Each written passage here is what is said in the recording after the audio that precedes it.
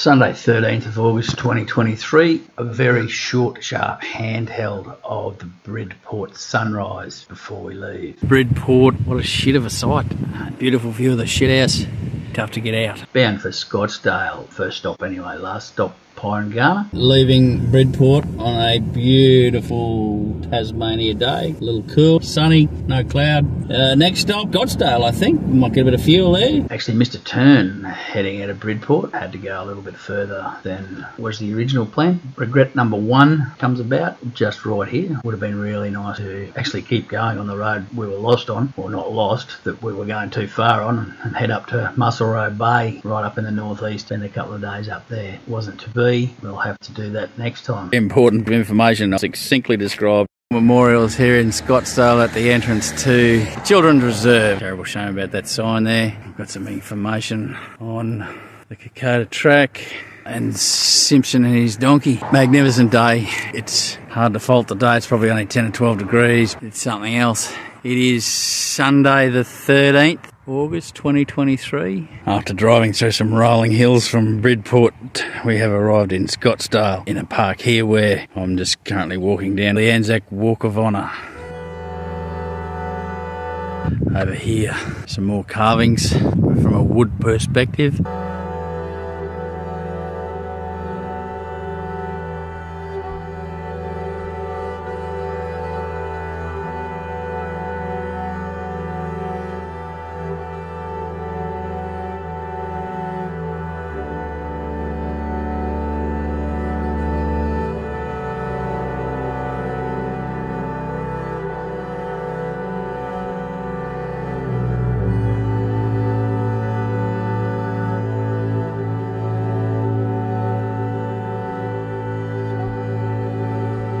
This walk of honours, it's quite long.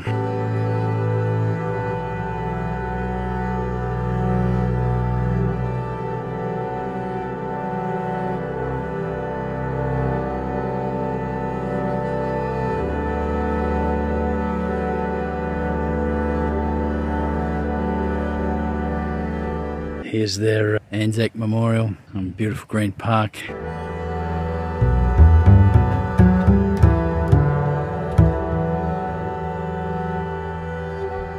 Appears there was a lone pine tree planted over here, Gallipoli pine. Propagated from the lone pine at Scottsdale Wastewater Treatment Plant and was planted by Hilma Briggs' son Les Briggs on Remembrance Day 08. And apparently has since died, which is unfortunate.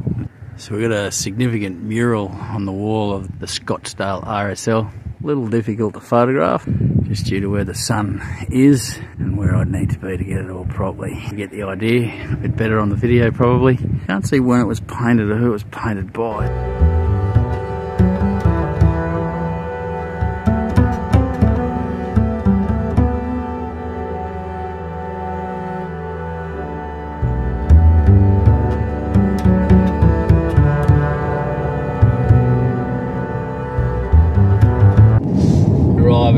Between Derby and Pyengana. Just thought I'd grab a little bit of the scenery. Well, I'm not doing it, I'm driving, obviously. Here we are. Just spectacular scenery as you rumble through the hills. There's nothing sure in Tasmania that when you're going down a hill, if you look up, you'll see the next one you're going to go up. Uh, some of them take a little bit of fuel to negotiate the upside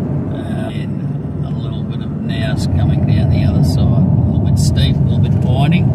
Don't want to be going too fast. The wattles also start really starting to flower up here in in unseasonably warm conditions, so it's going to be quite pretty in the near future.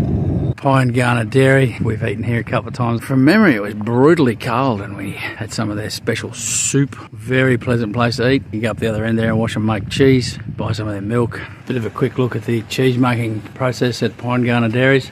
Here's an old set of scales, the old Avery scales. Uh, walk down from our campsite, as we do, to just have a quick squeeze at the pub in the paddock. We uh, didn't get here early enough for lunch. If you want to know about us and walking, just check in with our children. Especially the day we walked from Surfers Paradise to Harbour Town, which was quite significant for young children in 35 degree heat. Uh, they all still remember it. It must be true. Got everything here at the pub in the paddock. Apparently, there's a pig that drinks beer, which doesn't surprise me. Pigs eat anything. A few bees. And out here we've got some fat lambs that today are worth considerably less than they were not so long ago.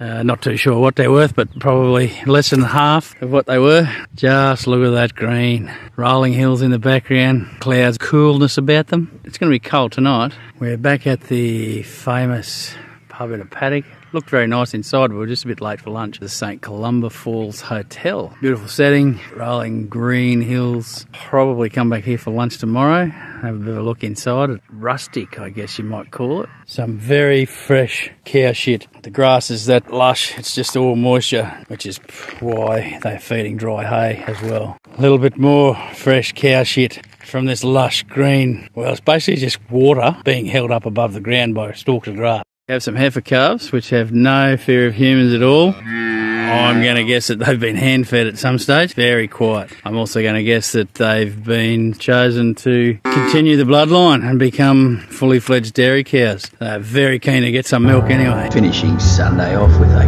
great sunset out across those rolling hills.